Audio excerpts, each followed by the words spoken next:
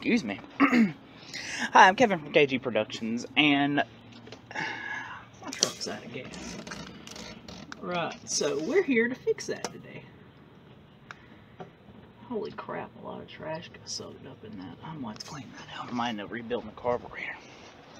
But anyway, I'm going to show you today the quickest and easiest way to get gas in here, which uh, you already know you just pour that in there, but uh, I'm gonna show you like if you broke down instead of primering it up, you know, you know, let it run for a little bit. But if you're in a EFI, electric fuel injection, then you're gonna have to cut it off, cut the key back on, cut it off, cut it back on, cut it off, cut it back on, and uh, yeah, that's a bunch of work that we're not gonna do here.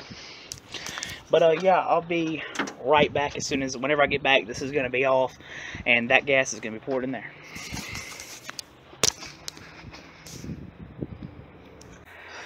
Whoop. Okay, so after you get all that other stuff done, what you're going to want to do is you're going to want to take your specialized Chevrolet key. Motherfucker, I ain't got mine on me. Screwdriver will work.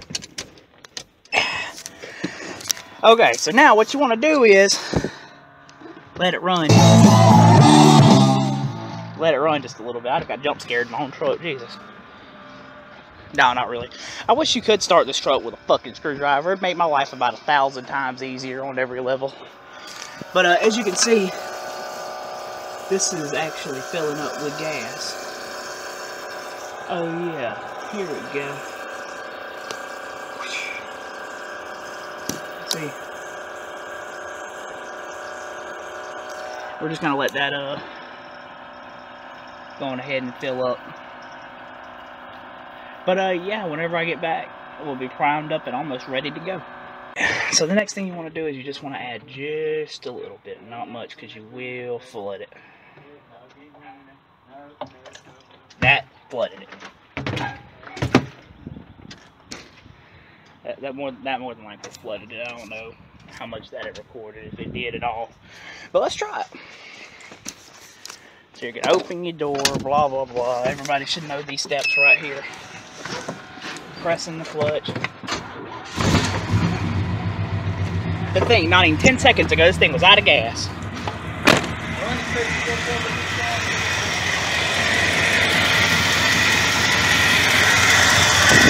Now getting, now we need to make sure we're getting a good fuel supply.